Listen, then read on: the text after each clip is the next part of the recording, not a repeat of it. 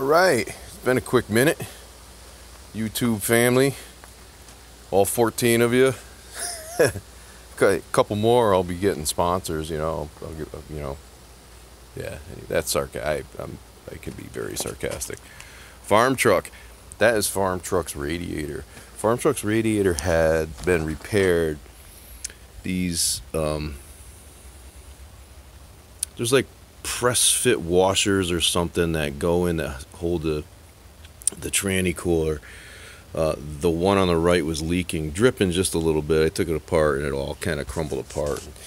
I take it to a local shop here in Connecticut called Peralt Radiator in Meriden, Connecticut. I have been dealing with them for 42 years. My father took me there. These guys are awesome. They they know what they're doing. They do great work. I've dealt with them many a times over the years.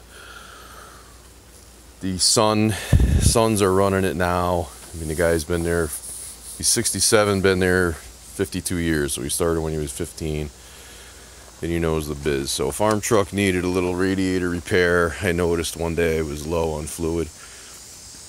Very dis- oh here, here comes the boy with the jack my helper, going to tech school in a few weeks. Maybe automotive, I don't know. We are going to be popping parts truck up in the air, pulling these wheels off, and uh, blocking it up. We're pulling the spindles, spindles, the brakes, brackets, everything. The guy, my machine shop has um, a van. He wanted the spindles for it. They'll work for his old Ford van. Um, my motor was run on a stand last night for my 81 Le Mans, so my um, Pontiac 400 motor may be done, ready for pickup today. So I got to get this. This is this is the only truck I have, is farm truck. Listen, I'll tell you what. When you're looking at this radiator in this truck, it doesn't look that big. I know it's a four core. It's a really wide tank, like three and a half, four inches wide. And, and don't mind me, I'm, I'm ADD, so we're going to be all over the place. I just painted up the steel brackets on the side, but I mean that sucker's huge, and it don't it doesn't look that big in the truck. But dude, I'll tell you what. Pull this sucker out. And uh, man, that's a big ass radiator. That is a big radiator. Some guns is heavy too. Hold up. Wait a minute. Something ain't right. Just so, you know,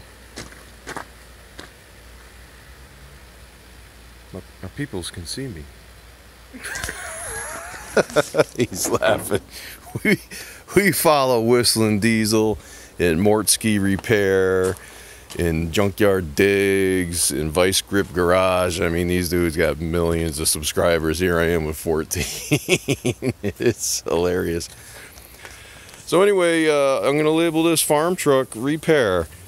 So maybe if you're looking up farm truck in Asian, you're gonna stumble across me. And if you do, subscribe because you got nothing better to do because you're watching YouTube videos of some guy talking about his freaking farm truck for four minutes and I'm just going to drag this out for a few more minutes. And no, he's not a skinhead.